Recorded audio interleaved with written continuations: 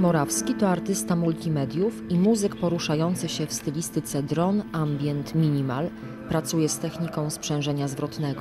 Jest kuratorem wydarzeń muzycznych. Zajmuje się też programowaniem DSP oraz interaktywnych wizualizacji. Kompozytor muzyki teatralnej. W 2012 roku zagrał serię koncertów w Japonii, a także stworzył muzykę i zdarzenia multimedialne do spektaklu Gift. Współpracował z najważniejszymi instytucjami kultury w Polsce, m.in. Instytutem Teatralnym w Warszawie, Narodowym Instytutem Audiowizualnym, Fundacją Malta, Centrum Sztuki Dziecka. Tworzył pracę, grał koncerty i prowadził warsztaty m.in. podczas festiwalu Transwizualia, Okno, Malta Festiwal, Inspiracje. Brał również udział w Media Labach organizowanych w Polsce, także jako uczestnik masterclass.